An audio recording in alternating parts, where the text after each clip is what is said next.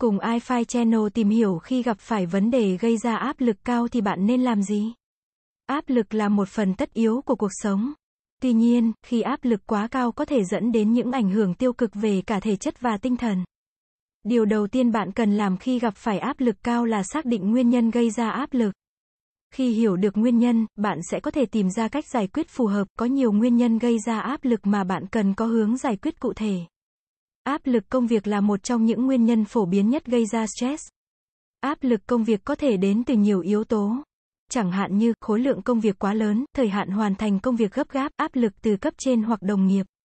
Áp lực từ cuộc sống cũng là một nguyên nhân gây ra stress. Áp lực từ cuộc sống có thể đến từ nhiều yếu tố. Chẳng hạn như mối quan hệ gia đình, tình cảm, tài chính, sức khỏe. Áp lực từ bản thân cũng là một nguyên nhân gây ra stress. Áp lực từ bản thân có thể đến từ những kỳ vọng quá cao của bản thân đối với bản thân hoặc những suy nghĩ tiêu cực. Tự ti, sau khi xác định được nguyên nhân gây ra áp lực, bạn cần lên kế hoạch giải quyết vấn đề. Khi lập kế hoạch, bạn cần cân nhắc những yếu tố cụ thể như sau. Mục tiêu của kế hoạch là gì? Bạn muốn đạt được điều gì? Bạn cần thực hiện những bước nào để đạt được mục tiêu? Bạn cần thực hiện kế hoạch trong bao lâu?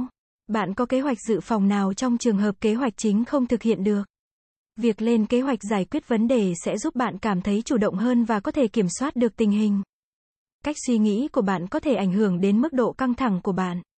Nếu bạn thường xuyên suy nghĩ tiêu cực, bạn sẽ dễ bị căng thẳng hơn. Để học cách kiểm soát suy nghĩ, hãy chú ý đến những suy nghĩ của bạn trong một ngày. Khi bạn nhận thấy những suy nghĩ tiêu cực, hãy cố gắng thay đổi chúng thành những suy nghĩ tích cực. Hãy dành thời gian để suy nghĩ về những điều tốt đẹp trong cuộc sống của bạn. Thiền và yoga có thể giúp bạn thư giãn và kiểm soát suy nghĩ tốt hơn. Một lối sống lành mạnh cũng có thể giúp bạn giảm căng thẳng. Hãy chú ý đến những điều sau như ngủ đủ giấc. Giấc ngủ là yếu tố quan trọng để duy trì sức khỏe tinh thần. Hãy cố gắng ngủ đủ 7 đến 8 tiếng mỗi đêm. Tập thể dục là một cách hiệu quả để giải tỏa căng thẳng. Hãy dành ít nhất 30 phút mỗi ngày để tập thể dục. Ăn uống lành mạnh sẽ giúp bạn có đủ năng lượng để đối phó với căng thẳng. Hãy hạn chế ăn các thực phẩm chế biến sẵn, nhiều đường, nhiều muối. Giao tiếp với những người thân yêu có thể giúp bạn cảm thấy được yêu thương và hỗ trợ. Hãy dành thời gian cho gia đình và bạn bè. Nếu áp lực của bạn quá lớn và bạn không thể tự giải quyết được, hãy tìm kiếm sự giúp đỡ từ chuyên gia. Các chuyên gia tâm lý có thể giúp bạn hiểu rõ hơn về nguyên nhân gây ra căng thẳng và đưa ra những lời khuyên hữu ích để giải quyết vấn đề. Áp lực là một phần của cuộc sống mà bạn không thể tránh khỏi nên bạn hãy tự chủ động giảm thiểu điều này nhiều nhất có thể.